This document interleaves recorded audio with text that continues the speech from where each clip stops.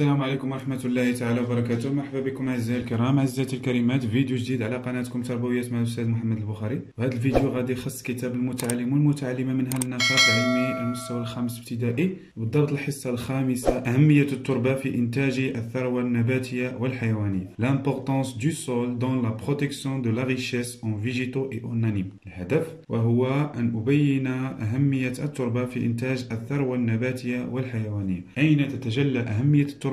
في إنتاج هذه الثروة النباتية والحيوانية. مزيان اذا كما دائما غادي نبداو بالصورة ديال الانطلاق. كما كتلاحظوا هنايا عندنا أبقار في حظيره اذا أبقار كتدخل ضمن الثروة الحيوانية في واحد الحظيره يعني في البادية. وغادي نبداو كذلك بقراءة ركن ألاحظ. جوب سغف خلال سفرها إلى البادية رأت سعاد عددا كبيرا من الأبقار في حظيرة عمها. إذا منين سافرت سعاد للبادية؟ يعني للقرية.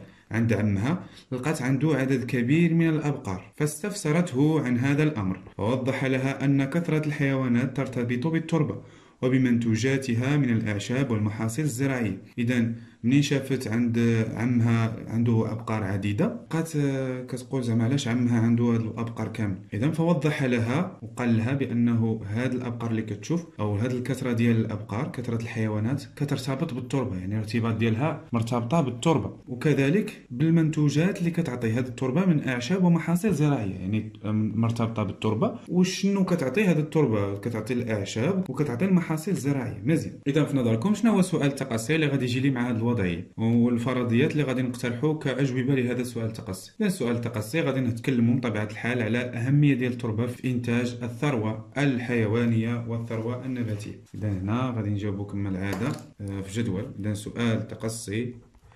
التقصي وهنا الفرضيات.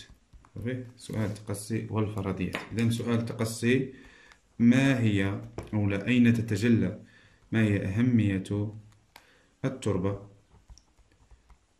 في إنتاج في إنتاج الثروة النباتية والحيوانية. الثروة النباتية والحيوانية والفرضيات. نفترض نفترض أن أن التربة تلعب دورا مهما في إنتاج الثروة. النباتية التي تتغذى عليها الحيوانات فتعطينا فتعطينا شنو؟ شنو كتعطينا؟ الثروة الحيوانية هذا افتراض الأول قد يكون صحيحا وقد يكون خاطئا افتراض الثاني أفترض أن التربة آه، ليس لها دور في إنتاج الثروة الحيوانية مثلا. أفترض أن التربة تنتج أعشابا ومحاصيل ومحاصيل محاصيل زراعية. قد تنتج ثروة. حيواني. صافي هذه كلها افتراضات مقترحة كأجوبة لسؤال التقصي. دابا غندوزو باش نعرفوا واش هاد الافتراضات صحيحة أم خاطئة. الدراسات أتحقق. هاد الأنشطة اللي كاينين في أتحقق. انتبهوا معايا مزيان. النشاط الأول الاحظ الصور واملا الفراغات بما يناسب. إذا غنلاحظوا هاد الصور هادو. وغادي نعمروا بهاد الكلمات. علف أعشاب الثروه الحيوانيه ثروة نباتية. إذا هنايا الصورة الأولى ماعز يتغذى على العشب الصورة الثانية نبات الفصة علف الماشية. الصورة الثالثة خرفان تتغذى على التبن إذا تنمو فوق التربة. شي حاجة تتغذى عليها الماشية. شنو علاش كتغذى الماشية؟ اذا كتغذى على الاعشاب اذا تنمو فوق التربة. أعشاب. أعشاب. اذا أعشاب. هي مشات ليا. تتغذى عليها الماشية كما تستعمل التربة لزراعة نباتات تستخدم كعلف. كعلف للحيوانات. اذا التربة كتستعمل باش يزرعوا فيها نباتات كتستخدم كعلف للحيوانات. تنتج التربة. اذا التربة كتنتج لنا ثروة. ثروة. نباتية. ياك. وتساهم بذلك في إنتاج. إذا هذه الثروة النباتية هي اللي غتساهم لي في إنتاج الثروة الحيوانية. الثروة الحيوانية. صافي.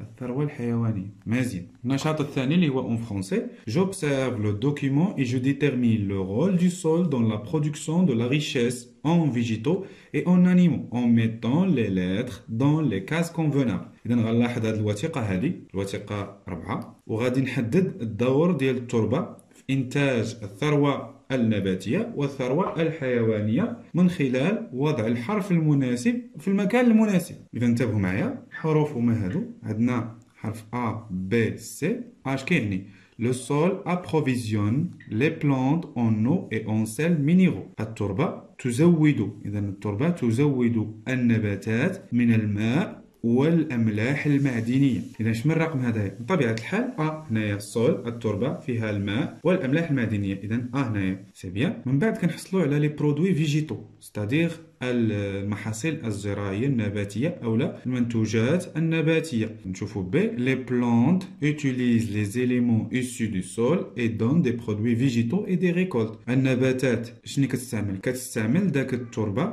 وداك الأملاح المعدنية وكتعطينا آه، منتوجات نباتية وكتعطينا محاصيل زراعية. يعني هنايا B. صافي و C les herbivores يعني الحيوانات العاشبه consomment les produits végétaux كيستهلكوا المنتوجات النباتيه et les récoltes والمحاصيل الزراعيه pour vivre من أجل انهم يعيشوا وكذلك pour se multiplier يعني من أجل التكاثر donc هنايا ال C صافي donc كيمشيو لي بالترتيب sol eau et sels minéraux كيعطينا des produits végétaux ومن بعد كيعطينا واحد ال richesse ديال l'animaux richesse en animaux صافي ندوزو ال question suivante je complète la phrase par l'un des deux mots غادي نكملو ب diminue و ب augmente يعني يا نخفضو أو يرتفع. plus le sol est fertile الا كانت التربه خصبه plus la production de la richesse en végétaux كل ما كانت التربه خصبه كل ما كانت la production يعني الانتاج ديال الثروه النباتيه والحيوانيه كيكون مرتفع بطبيعه الحال augmente لأن داك التربة هي اللي كتعطي منتوج اللي هو نباتي. المنتوج النباتي كيستهلكوه الحيوانات كيعطيونا واحد ال richesse en animaux صافي. donc augmente augmente صافي c'est très bien غندوزو الان استخلص وغادي نكتبو معاكم هنايا استخلص نكتبو استخلص انتبهوا معايا استخلص الملخص هو كالتالي اذا توفر التربه اش كتوفر التربه توفر التربه الماء والاملاح المعدنيه والاملاح المعدنيه ياك للنباتات للنباتات اذا الاملاح المعدنيه التربه كتعطيها النباتات كتعطيها الماء والأملاح المعدنية التي التي تعطي اللي كتعطي شنو كتعطي؟ التي تعطي منتوجات منتوجات نباتية. اللي كتعطي واحد المنتوجات نباتية تستهلكها تستهلكها الحيوانات. اللي كتستهلكها الحيوانات بطبيعه الحال. وكلما وكلما وكلما آه، كانت التربة كانت التربة خصبة إذا كانت التربة خصبة كلما ارتفع كلما ارتفع ارتفع الإنتاج الإنتاج آه الإنتاج يعني من حيث أو لا إنتاج إنتاج الثروة الثروة النباتية وازداد وازداد إنتاج إنتاج الثروة الحيواني. الحيواني.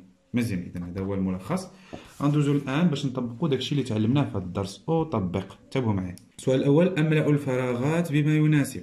غادي نملؤوا الفراغات بهاد بهاد الكلمات هادو. العاشبة الأملاح المعدنيات الثروة الحيوانية خصبة ودعام. تشكل التربة للمزروعات. اذا كتشكل التربة دعام. دعامة.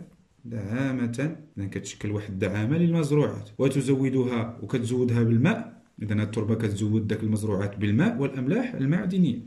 والأملاح المعدنية غير والأملاح المعدنية مشات الضرورية لنموها. إذا من طبيعة الحال ذاك النباتات خصها ماء وخصها أملاح معدنيه باش تنمو. الضرورية لنموها تستفيد الحيوانات شي حاجة من النباتات ومنتوجاتها. إذا شكون هي الحيوانات اللي كتستفد من النباتات ومنتوجاتها؟ إذا هي الحيوانات العاشبة. العاشبة الحيوانات العاشبة من النباتات ومنتوجاتها وكلما كانت التربة كل ما كانت التربة إذا مشات لنا عاشبة كل ما كانت التربة خصبة كلما زاد الإنتاج من المزروعات التي يؤدي إلى ارتفاع بطبيعة الحال يؤدي إلى ارتفاع الثروة الثروة الحيوانية. صافي الثروة الحيوانية إذا نقراوها تشكل التربة دعاما للمزروعات وتزودها بالماء والأملاح المعدنية الضرورية لنموها تستفيد الحيوانات العاشبة من النباتات ومنتجاتها ومنتوجاتها وكلما كانت التربة خصبة كلما زاد الإنتاج من المزروعات التي يؤدي الذي يؤدي إلى ارتفاع إنتاج الثروة الحيوانية. دوزو la deuxième question. Je coche les cases des caractéristiques d'une région riche en bétail. دابا غادي نديرو واحد ال croix علاش على المميزات ديال واحد الجهة ولا واحد البلاصة كتكون غنية بالحيوانات يعني غنية بالثروة حيوانيه bétail. يعني كيكون فيها الماشية بزاف. الماشية bétail هو الماشية مزيان. donc rareté des récoltes يعني ندرة في المحاصيل الزراعية بطبيعة الحال sol fertile يعني التربة خصبة بطبيعة الحال صحيحة. rareté de l'eau يعني الندره ديال الماء بطبيعة الحال. la richesse en herbe et en fourrage يعني الوفرة ديالاش ديال الأعشاب. وكذلك فوغاج يعني العلف من طبيعة الحال. صافي donc من طبيعة الحال هذه جواب صحيح. donc les caractéristiques d'une région riche en bétail sont sol fertile richesse en herbe et en fourrage d'accord السؤال الثالث والاخير اكتب صحيح أو خطا امام كل جمله تؤدي وفرة المياه إلى انخفاض الثروة النباتية والحيوانية. إذا الجواب خطأ. إذا خطأ. علاش؟ علاش خطأ؟ حيت إلا كانت المياه غادي تكون عندنا تربة خصبة ولا كانت عندنا تربة خصبة غادي تعطينا واحد الثروة نباتية ولا عطاتنا ثروة نباتية غادي تكون عندنا آه، ثروة حيوانية. اذا خطأ. يلجأ الفلاحون إلى استعمال الأسمدة لتحسين إنتاج الثروة النباتية. صحيح. اذا الفلاح كينتج داك الثروه النباتيه وكيستعمل بعض الأسمدة لأن لأن بدون أسمدة ما غتعطيناش محاصيل زراعية وفيرة وبالتالي هذه العبارة صحيحة. أه، وهذا غادي نكون كملت لا فيديو ديال اليوم اللي كان كيخص صفحه 27 من كتاب المتعلم والمتعلمة من هذا النشاط العلمي مستوى الخامس ابتدائي. خليتكم على خير. كان معكم الأستاذ محمد البخاري والسلام عليكم ورحمة الله تعالى وبركاته.